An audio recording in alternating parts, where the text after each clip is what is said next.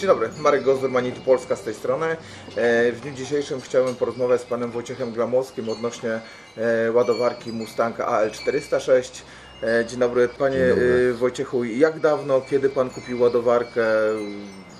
Jak to się stało, że jest pan w tej chwili posiadaczem tej właśnie, a nie innej maszyny?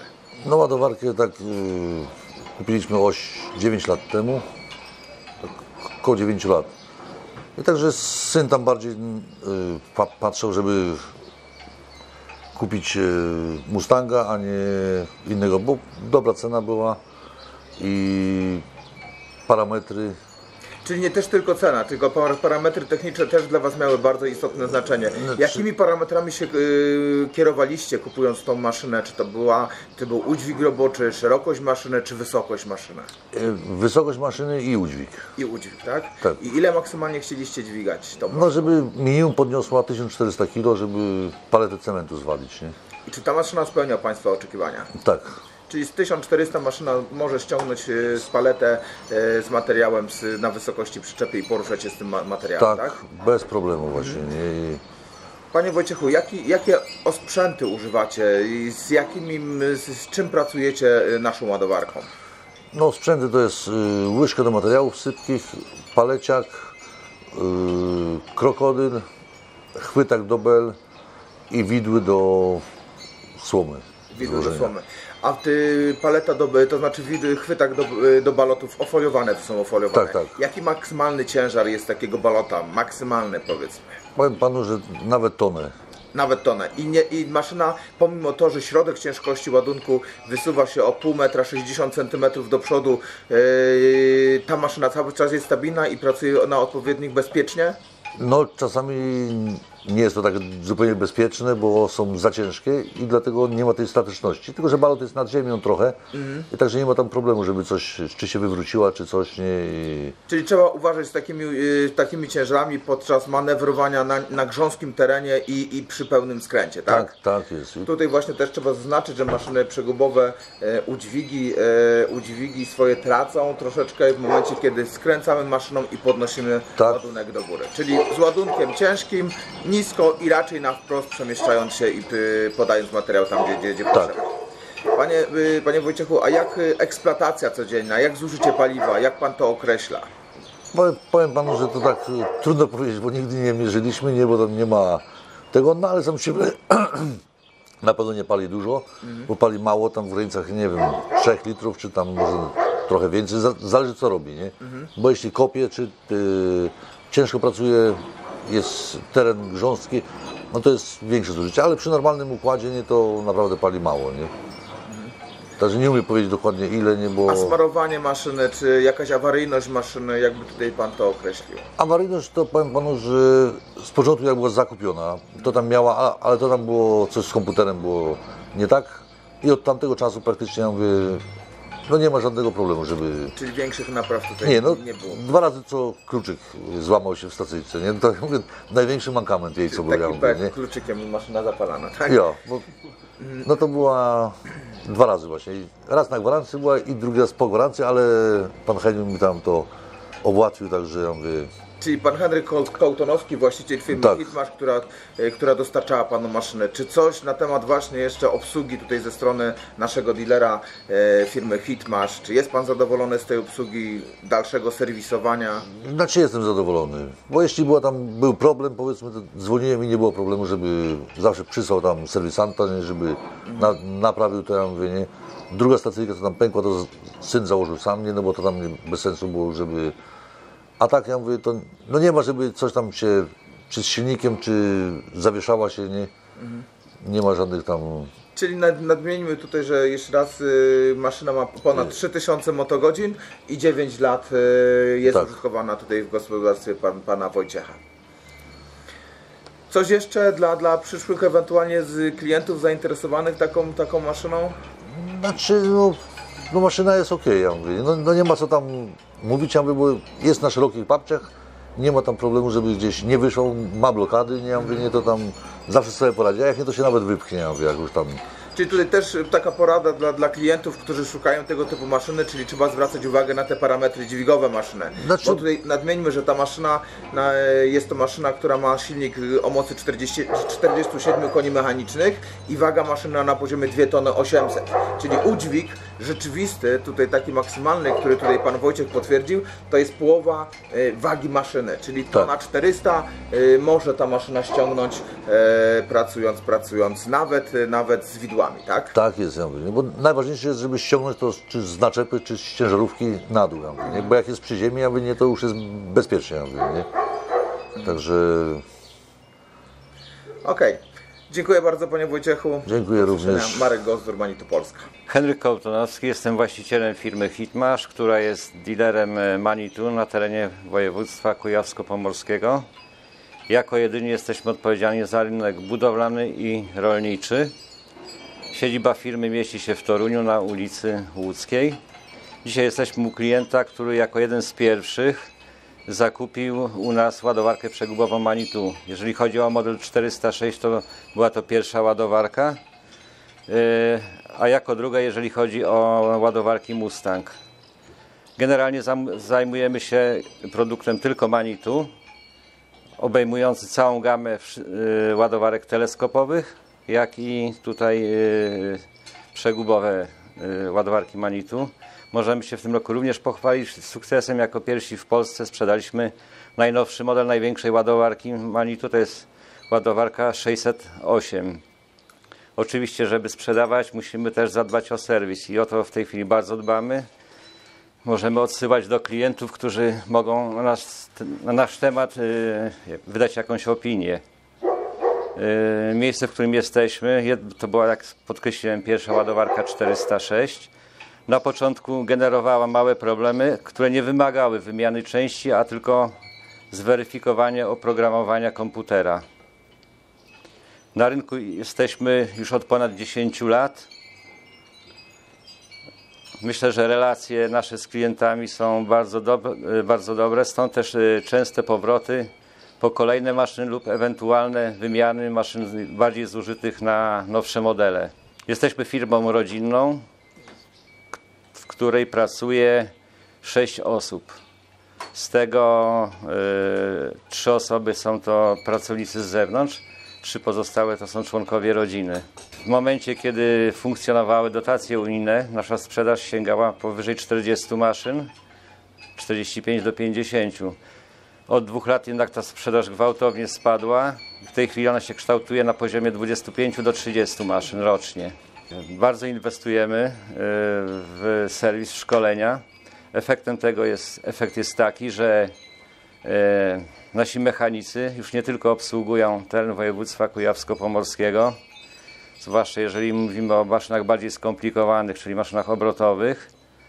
Bardzo często jesteśmy wzywani do Gdańska, Poznania, Łodzi, Płocka, tam gdzie tych maszyn bardzo dużo pracuje.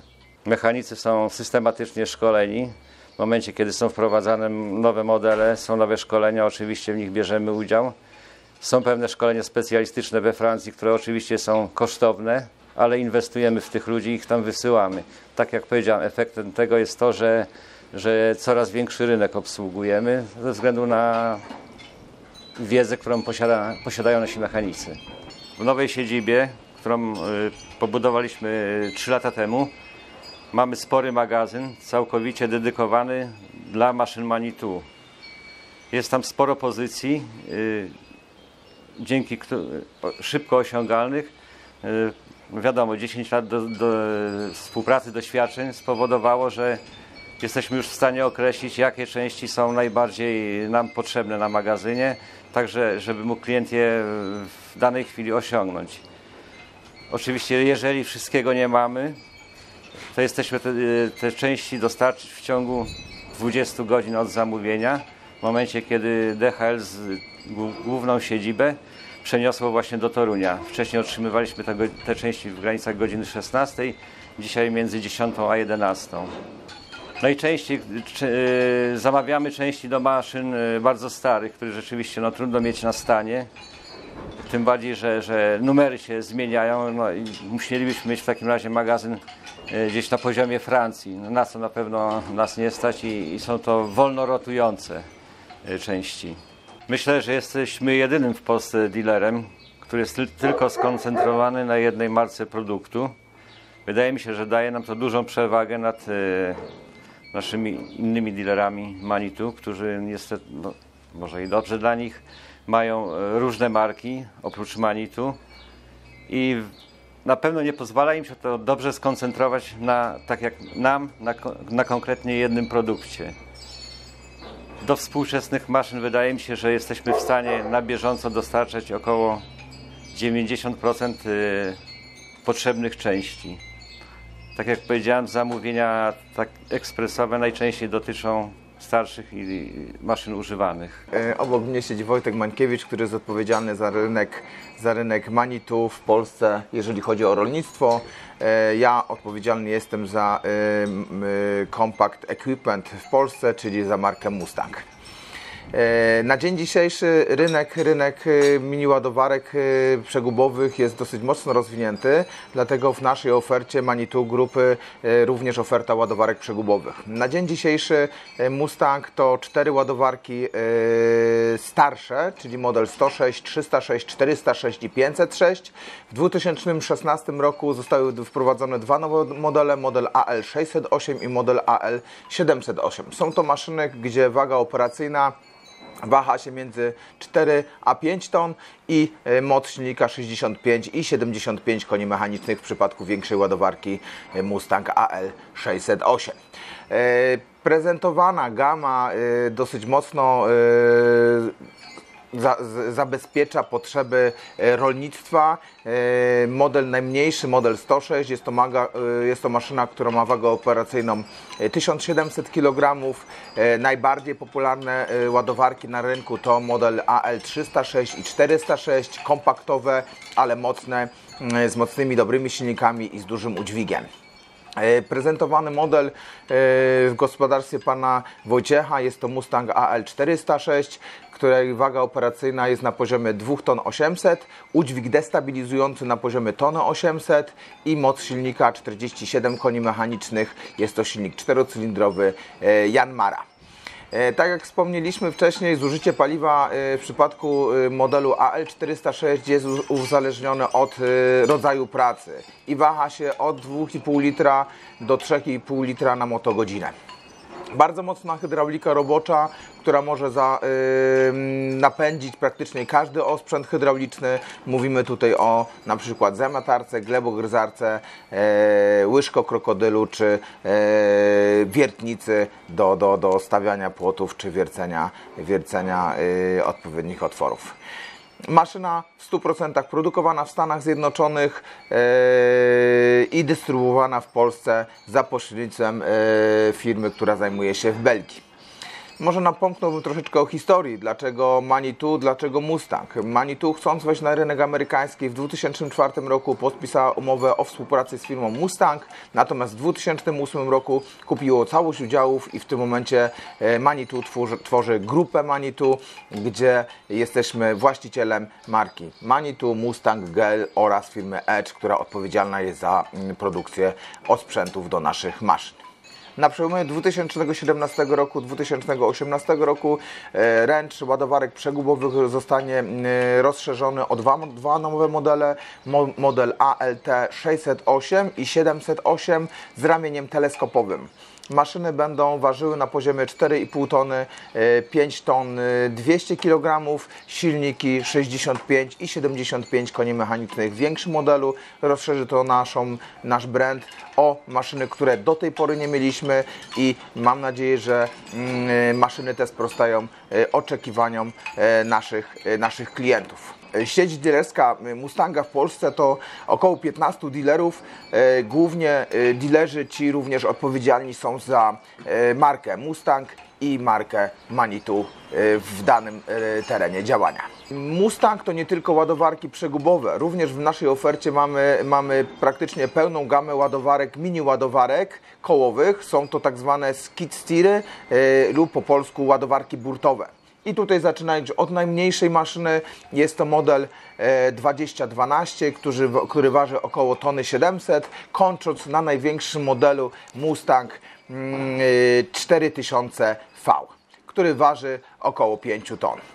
Jeżeli byliby Państwo zainteresowani ofertą mini ładowarek e, burtowych, e, czyli skidów, proszę o kontakt z najbliższym e, dealerem w Polsce i przedstawię Państwu konkretną ofertę na mini ładowarki albo ładowarki przegubowe.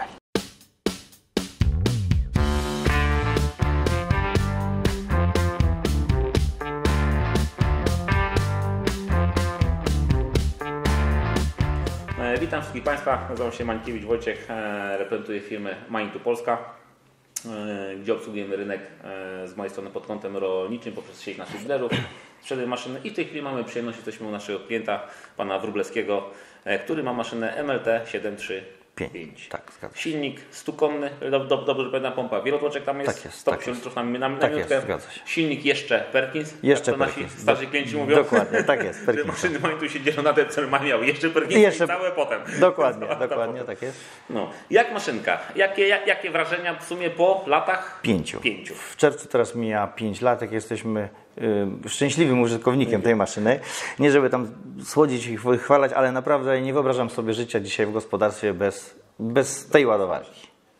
No, sobie maszynka ile ma już godzin? Tam 5200 godzin, 5 lat, czyli średnio tam ponad 1000 godzin y, rocznie. y, Wchodzi na okrągło.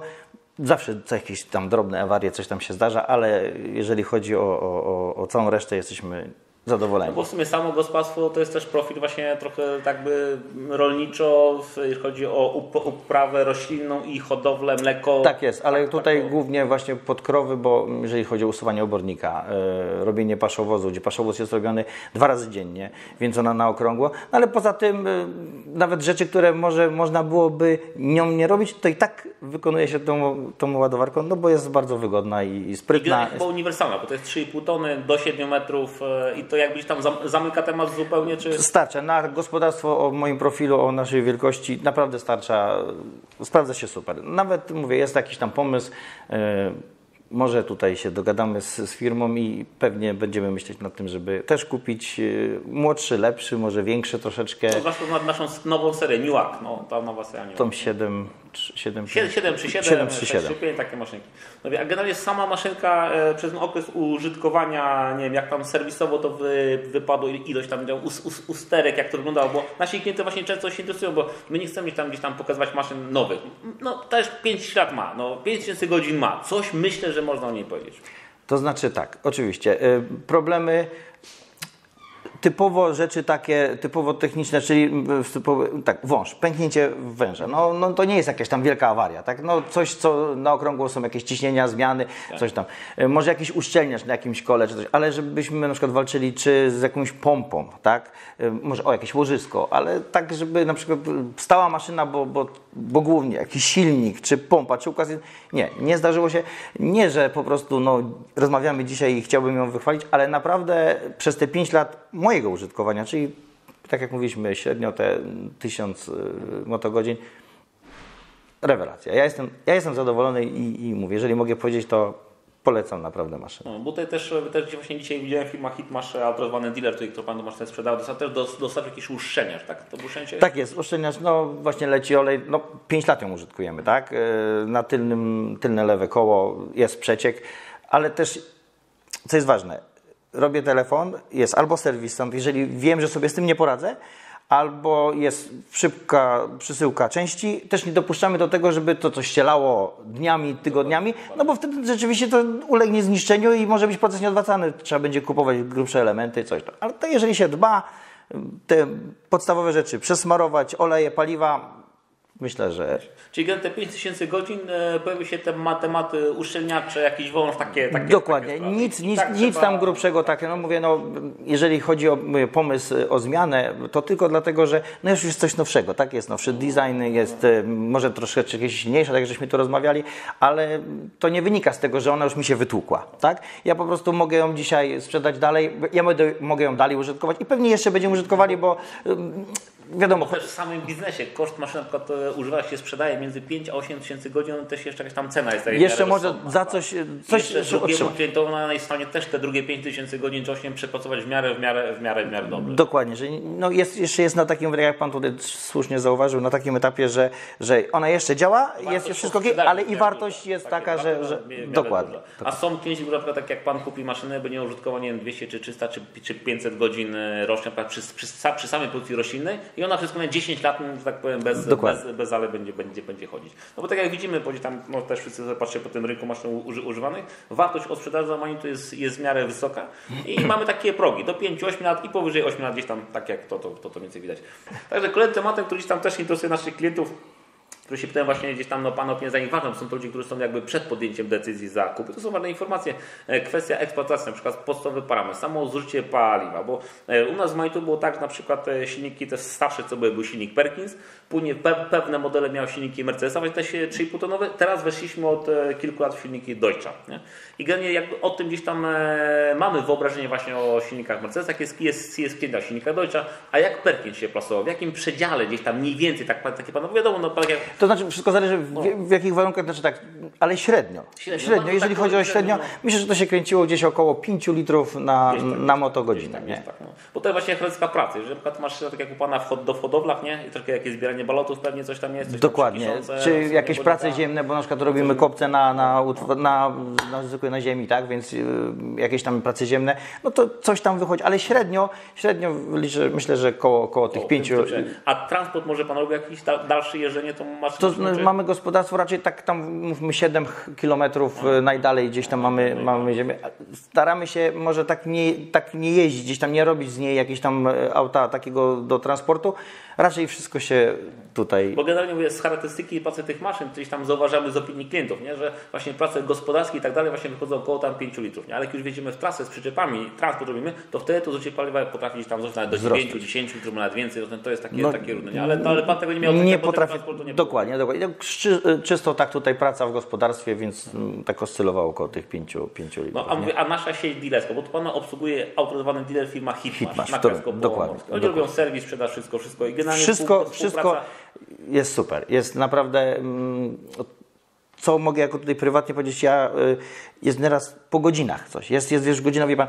Przeważnie jak coś się wydarzy, czy jakiś pęknie wąż, że olej wyciągnie, coś, to nie w godzinach takich normalnych, tylko mówmy 16-17 wykonuje telefon y, przeważnie tutaj do właściciela firmy, do pana Kulturowskiego.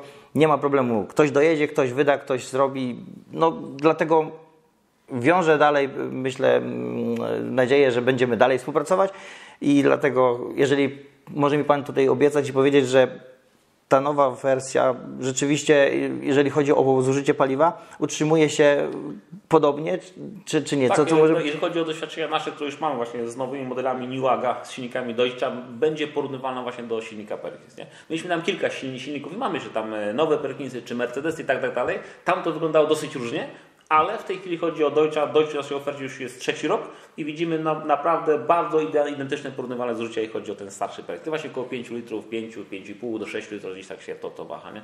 I myślę, że w Newagu będzie Pan bardzo zadowolony, zwłaszcza z kabiny, to jest nowy model kabiny zupełnie, z samej maszyny i maszyna będzie mocniejsza, bo to już będzie maszyna 130 koni, e, 3,7 tony, to już będzie naprawdę gdzieś, gdzieś tam, myślę, że górna. Myślę, że... my- myślę, że... Ale ważne, że osprzęty zostaną te same, nie? bo to jest też... e, Czyli cała reszta, czyli mm, montaż, znaczy montaż, inaczej, y, jak to się nazywa, chcę powiedzieć, zapięcie, Ta- ta łyżki, tak, karetka, wszy- karetka, wszystko zostaje. To, to, to samo, tylko też właśnie jest to, co widzimy, że dobór czasami łyżek czy chwytaków, nie? Między maszyną 3, 7 przy 5 a 7 przy 7, nie? Generalnie będzie Pan tu może troszkę szybciej pracował, ale osprzęty myślę, że wystarczą te, same. Że nie będzie tego problemu jakby z zmianą os, os, osprzętu, że bo czasami klient jak kupi maszynę dużo, dużo większą, to musi dokupić też now, nowy osprzęt. No bo kupić maszynę 4-tonową i mieć łyżkę załóżmy dwumetrową, no to, to, No to się trochę mija no, z celem, dokładnie. mija. Ale w tym przypadku, żeby to łyżka właśnie 2 czy, czy 2,5, jakie pan, czy chwytaki, dobornika, cokolwiek by było, to, to będzie to, to, to ten sam Czyli maszyna jest, Tak. y, Ale będzie troszeczkę szybciej, troszeczkę lżej, bo maszyna jest troszeczkę mocniejsza. Nie? No to myślę, że, że będziemy w tym kierunku szli. No to fajnie, fajnie, no dobrze. Nie? No. No, a, a samo gospodarstwo, jeżeli my, e, skąd jakby gdzieś tam pomysł na teleskopa? Czy ciągnik z turem był, e, był lepszy? Tak, to znaczy właśnie. Lepszy? Z czego to wynikło? Nie, nie, znaczy chodzi tak, w gospodarstwie jeszcze jak przyjąłem po rodzicach, y, był polski Ursus z turem, potem po kilku latach, jak zaczęliśmy z małżonką czasami gospodarzyć, y, urodził się pomysł, może kupić jakiś zachodni ciągnik. No, kupiliśmy zachodni ciągnik, nowy ciągnik, z którym myśleliśmy, że już złapaliśmy Pana Boga za nogi. Niestety wyszło odwrotnie. Znaczy niestety, stety. Y, W momencie, kiedy mm, rozmawiają gdzieś na jakichś wystawach, czy u jakiegoś kolegi, powinieneś kupić ładowarkę, ładowarka, to jest, nie wiem, tam przesadzają, po co tam takie, rzeczywiście, wie Pan, w momencie, kiedy kupiliśmy ładowarkę, e, tur stał się elementem zbędnym w gospodarstwie. Naprawdę na tą chwilę nie korzystamy w ogóle z tego. To nie, że mm, chcę przechwalić. Nie.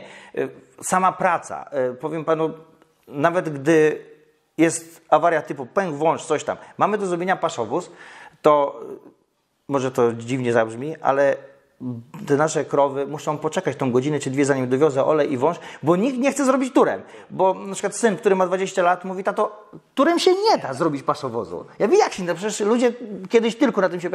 Tato, przyzwyczaiłeś nas do czegoś dobrego i na tym się nie da. No wie pan, no zwrotność, no w ogóle nie ma o czym jest, mówić. jest, jest pewien już gdzieś tam, tam myślę, taka, taka granica gospodarz, gdzie jeszcze ten ciągnik z turem sobie radzi, ale powyżej tej pewnej granicy już raczej tylko ładowarka. Pytanie, czy nowa, czy używana, czy jakakolwiek, to nieważne, ale już ładowarka sama, sama w sobie. Nie? Myślę, że właśnie dzisiaj gospodarstwo, y, jak już posmakuje, y, czy nowej, czy, czy używanej, już nie wróci do tura nigdy. Nie? Myślę, że to jest, to jest coś, co jest dzisiaj, to jest nie- niezbędny element w gospodarstwie. Zresztą rynek ładowarek jest w Polsce rosnącym rynkiem i na świecie jest rynek rosnący. Tych maszyn, tam widać potrzeby u nas, nie? że większość gospodarstw, jak Pan mówi, no, myśli o ładowarce lub kupiło, lub będzie kupować drugą. Mam trzech takich gospodarstw, na przykład kup- kupili jedną, minęło 3, 4, 5 lat, już jest druga na przykład, nie? Ład- ładowarka. A to się może wzrosło o 20%, może coś, nie? I widać, że te maszyny jednak, jed- jed- jednak mają, mają swoją potrzebę.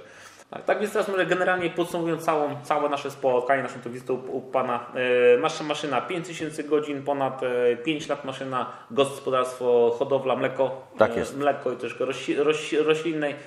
Maszyna uży, użytkowana bardzo wszechstronnie. No i w warunkach naprawdę można powiedzieć spartańskich momentami, bo e, gospodarstwo nie jest e, w całości utwardzone, gdzie, gdzie będzie można potem to zobaczyć. E, Przy takiej pogodzie, jaka była dzisiaj, wlało naprawdę fajnie i, i no, gdzie potrzeba to fajnie, że popadało, no tu niekoniecznie przy tych kopcach. Pracuje naprawdę w błocie, w ciężkich warunkach, daje radę, naprawdę daje radę. Cieszy, cieszy mi się bardzo z, op, z, z opinii. Teraz generalnie Pan myśląc o wymianie, e, raczej idziemy w tą, jakby zakład parametry troszeczkę lepiej. Tak się Troszeczkę. Tylko nie potrzebujemy, żeby to był jakiś dłuższy, znaczy y, ramię, żeby się, znaczy ten teleskop, żeby się wysyłał na większą. To wszystko, tylko tak jak Pan tu zauważył, że pompa jest może mocniejsza, będzie ona trochę szybsza, że będzie można może dwie czynności czy trzy wykonywać jednocześnie. W jakiś sposób usprawni to, ale wielkość maszyny na pewno nie będziemy przesadzać, bo ta, to wystarczy na nasze gospodarstwo. To jest naprawdę to, co i do układania stoków, i do załadunku paszy treściwej, czy czegokolwiek, to jest to, co, co, co uważam, że starczy. A sam biznes Pan przewiduje, nie wiem, e, wymianę maszyn czy oddanie dealerowi, czy raczej samemu sprzedaż na wolnym rynku i kupienie samemu To znaczy, no właśnie przez to, że współpraca bardzo nam się układa tutaj z firmą Hitmash, y, już są wstępne rozmowy, że mm, i serwis nie boi się wziąć od nas maszyny, jest bo, historia, bo jest historia. Jest historia maszyny, y, jest kupiona i w Hitmashu i jest y, prowadzona przez cały czas. Więc myślę, że raczej dogadamy się w ten sposób, że będzie wymiana za dopłatą i zostaniemy dalej. No też często właśnie z tym rozmawiałem, czasami właśnie to korzystanie z zautoryzowanego serwisu jest też jakby w perspektywie czasu opłacalne, czy, czy firma chętniej odbierze tą maszynę, czy nawet sam klient, jak gdzieś tam obcy, który by kupował, widzi historię maszyny od A do Z w autoryzowanym serwisie, to też jest bardzo istotne. No dokładnie, dokładnie. Dlatego mówię, rozmowy są z Hitmashem i Hitmash mówi, weźmiemy, na pewno się dogadamy. No i myślę, że, że, że będziemy działać razem. I raczej nie to jest przyszły rok, czy jeszcze, czy jak to, no. To znaczy, ja powiem, może nawet i ten rok. Nawet i ten. Nawet i ten rok, bo jesteśmy świeżo po pokazach tutaj na wystawie w Minikowie, gdzie obejrzałem tą maszynę i no, jestem tak mocno tak zainteresowany. Nie? Nie no, nasz pan, pan Henryk Kołtonski firmach Hitmasz no, ma tylko Manitou i Mustanga, także no. No, To też jest ważne troszeczkę, że, że, że są gdzieś tam takie pewne sezony, jak widzimy u innych de- dealerów, że e, nie, wiem, ma, ma tam kilka marek, tak, no stara się ogarnąć wszystko. że szuka gdzieś tam Tak, czegoś. ale w tym przypadku firmy Hitman tak on zawsze jest sfokusowany i to jest ważne, że są jakieś relacje, że maszyna się najczęściej psuje w piątek wieczorem albo Dokładnie, ale i że firma po prostu, że tak powiem, trzyma się jednego, jest dobra w jednym, tak? Ja nie mówię, że te inne są może gorsze, ale chodzi o to, że tutaj, wie pan, ja przez telefon powiem, że na przykład y, tylne lewe koło ucieka olej. I jest tylko pytanie, w którym miejscu i oni wiedzą, czy to ma być duży uszczelniacz, czy mały, tak? Ja nie znam, wie pan, czy to jest małe, czy to jest duże, bo to przecież, no skąd? A tam już jest wszystko, więc ja uważam, że jest dobrze. Czyli super. Dzie- dziękuję bardzo. Myślę, że wszystko w sprawie. Dzie- dziękuję. Dziękujemy serdecznie, dziękuję bardzo. Witam. Reprezentuję firmę Hitmasz, która między innymi dostarczała w 2012 roku ładowarkę teleskopową do gospodarstwa pana Mariusza Wróblewskiego. Firma Hitmasz już od ponad 10 lat jest dealerem Manitu. Operujemy na terenie województwa kujawsko-pomorskiego, zarówno w sektorze rolnictwa, jak i budownictwa. Zajmujemy się tylko maszynami Manitu, co pozwala na osiąganie wysokich standardów obsługi klienta, zarówno jeżeli chodzi o sprzedaż części, jak i usługi serwisowe. To, jest, to znaczy naprawę. Siedziba firmy znajduje się w Toruniu przy ulicy Łódzkiej.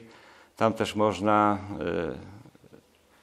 y, w dowolnej porze zapoznać się z różnymi modelami ła- ładowarek teleskopowych Manitu, jak również i ładowarek przegubowych Mustang, które staramy się mieć cały czas na placu. Jesteśmy firmą rodzinną, zatrudniamy sześć, w sumie pracuje sześć osób. Wystarcza to, żeby opanować e, sytuację na naszym terenie. Cały czas y, też y, inwestujemy w szkolenia y, mechaników serwisu, co się przekłada tym, że, że zyskują coraz większe uznanie nie tylko na terenie województwa kujawsko-pomorskiego, ale również poza nim.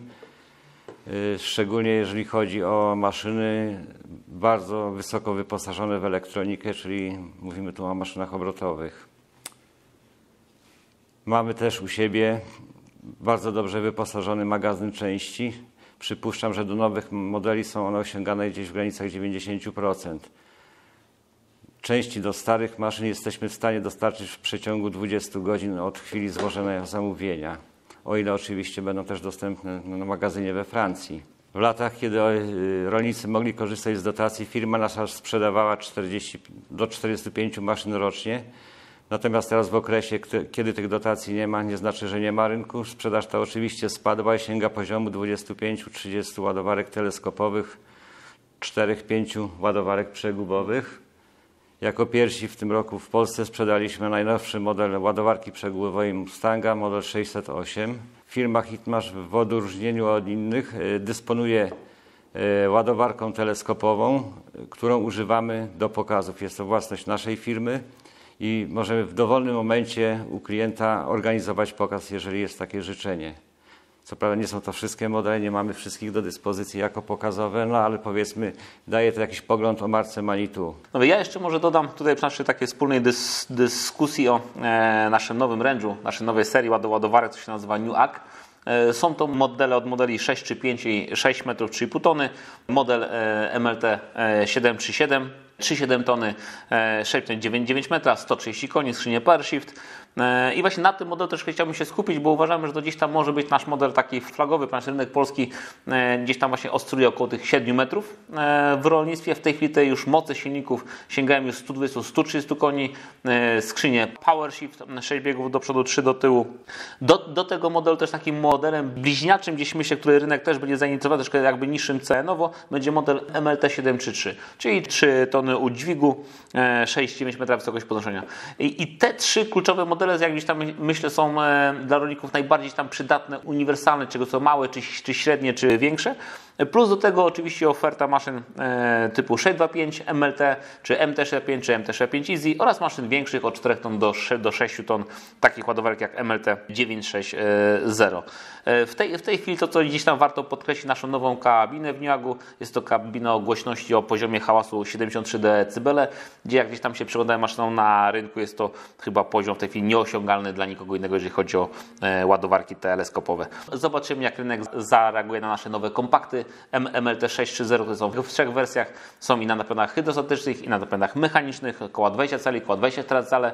Także w naszej ofercie myślę, że jeżeli klient ma gdzieś tam e, parametry do ułożenia, takie jak gdzieś tam zas- zasobność finansowa, e, czy, czy nie wielkość ob- ob- obory, czy, czy sposób załad- załadunku, to cała nasza oferta, jeżeli chodzi o produkt, Jeżeli chodzi o e, finansowanie, nasza oferta Mind to Finance, gdzie mamy w tej, w tej chwili e, dw- dwie oferty finansowania, rok e, gdzie jest 50 na 50 0% i oferta trzyletnia, gdzie też jest 0%. Do finansowania te wszystkie rzeczy plus nasza jakby gdzieś tam mm, generalnie myślę, że jedna chyba z lepszych sieci dealerskich, jeżeli chodzi o o tres, Treskopy, jest to ponad 15 dealerów rolniczych w Polsce, którzy współpracują z nami już od wielu, wielu, wielu lat. Myślę, że klienci mogą czuć się bezpiecznie pod kątem inwestycyjnym, pod kątem serwisowym, e, aby tak jak tutaj e, Pan, co jed- jedną maszynkę wcześniej, wcześniej kupił, gdzieś tam e, dalej powracać do nas, jeżeli chodzi o formę zakupu. A to jest nas bardzo ważne, że, że, że mamy klientów e, takich, którzy z nimi roz, rozmawiamy i oni czują, że nie był to zakup jednorazowy, że współpraca będzie się układała dalej.